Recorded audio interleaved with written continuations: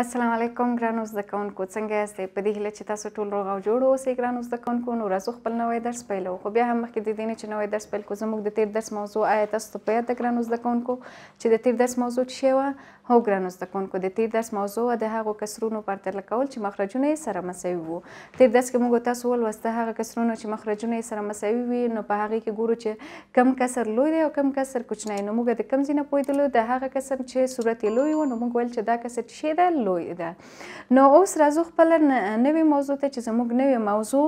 د عامو کسرونو جمع دی البته د کومو عامو کسرونو جمع هغه عامو کسرونو جمع چې مخرجونه یې سره مساوي وي څلور دېرشم لوست دی او یو سل درویشتمه پاڼه ده ګرانو زده کوونکو دلته تاسو ته په کتاب کې ځینې پوښتنې درته درکړي البته لومړنۍ پوښتنه کې تاسو ویلي وای په لاندې شکل کې کم کسر د مستطیلي شکلونو په واسطه په نښه شوی دی نو دلته په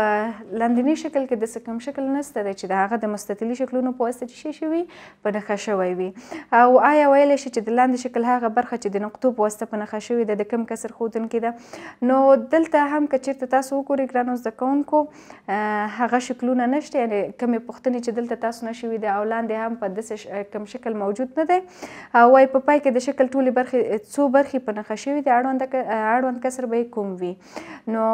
بیا هم درته وایم چې دا ټولې دا درې واړه هغه پوښتنې دي چې د دې مطابق پوښتنې په کتاب کې یعنی کم د شکل نشته چې موږ د هغې په اړه ځواب ووایو خو البته په کتاب کې دا بل شکل شته دی چې یو پنځه ځلي دی چې دا پنځه ځلي په پنځو مثلثونو باندې چې شوی دی ویشل شوی دی نو اوس راځو ګرانو زده کوونکو د درس یعنی خپلې موضوع ته چې دلته یې موږ ته ویلي دي د عامو کسرونو جمع اوس ګورو چې موږ او تاسو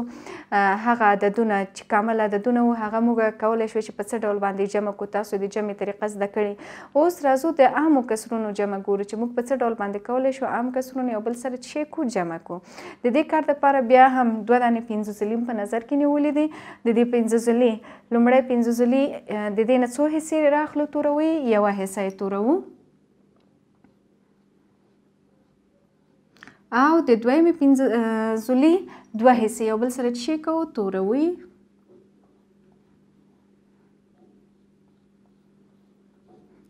ښه ګرانو زده کوونکو اوس دلته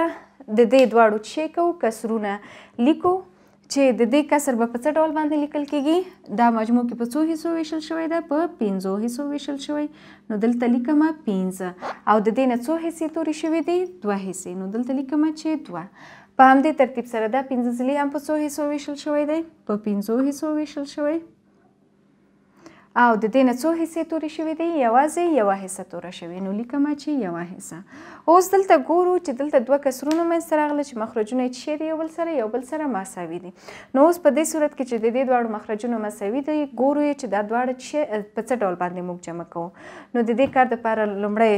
دلته چې لیکو دا دواړه کسرونه لیکو دوی پر پنځه جمع کوو د چیش سره د یو پر پنځه کسر سره نو لیکم چې جمع یو پر پنځه اوس ګرانو زده کوونکو په دې مرحله کې به تاسو چی شي کوئ دې مرحله کې چې کسرونو مخرجونه مساوي وي د مساوي مخرجونه به یوازې یو مخرج لیکئ بیرته به په مخرج کې لیکئ او صورتونه به چی شي کوئ یو بل سره جمع کوئ او حاصل به هم په صورت کې لیکئ دلته یې زه تاسو ته لیکم مساوي مخرجونه دواړه مخرجونه مساوي دي نو د دې دواړو مساوي مخرجونه یوازې یو مخرج چې څو دی پنځه لیکم او صورتونه یو بل سره چی کو جمع کو صورتونه خو اوس تاسو ته معلوم دي یو او دوه چی ده صورت نو یو جمع دوه دلته لیکم تاسو ته چې لا ښه واضح تاسو پوه شئ یو جمع دوه اوس بیا هم دا مساوي کېږي د دا به لاندې تاسو ته ولیکم ګرانو زده کوونکو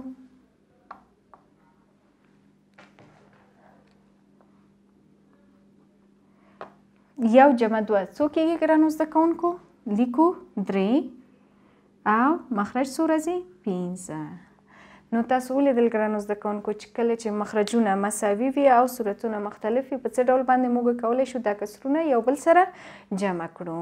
نو یعنی دلته مهمه خبره چی ده مهمه خبره دا ده چې د مساوي مخرجونو نه به یو مخرج لیکي او صورتونه به یو بل سره چی کوی جمع کوی د دې لپاره چې تاسو لا ښه پوه شئ راځم تاسو ته یو بل مثال چې کورنۍ دنده البته فعالیت برخه کې تاسو ته شکل سره درکړی شکل تاسو به په خپل په کتابچه کې رسموي زه دلته تاسو ته یو مثال لیکم چې مثال تاسو ته درته درکړی دی وای درې پر اته جمع لیکم درې پر اته درې پر اته کسر د کم کسر سره جمع کوو د دوی پر اته کسر سره جمع کوو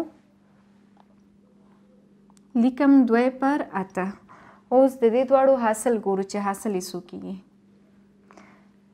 بیا هم دلته دواړه مخرجونه مساوي دي نو د مساوي مخرجونو څخه یوازې چې کوو یو مخرج لیکو او دوه جمع درې کوو دوه جمع درې څو کېږي پنځه نو دلته صورت کې څو لیکم پنځه نو تاسو ولیدل ګرانو زده کوونکو چې د عامو کسرونو جمع چې مخرجونه یې سره مساوي په څه ډول باندې موږ جمع کوو دا و زموږ نننی درس د همدې یو سل څلوېښتمې پاڼې په لاندنۍ برخه کې تاسو ته کورنۍ دنده درته درکړې چې دا به تاسو په منظم ډول په خپلو کتابچو کې لیکئ حلوئ به او عکس به یې ماته په کمنټ کې رااستوئ نو زموږ درس همدلته پای ته رسیږي ګرانو زده کوونکو که چیرته په دې درس باندې نه یې پوه شوي کولی شي مانه په کمنټ کې پوښتنه وکړي او که چیرته تاسو د دې لپاره غواړئ چې دا ویډیوګانې په منظمه توګه ترلاسه کړئ کولی شي زموږ چینل لایک او سبسکرایب کړئ د الله په امان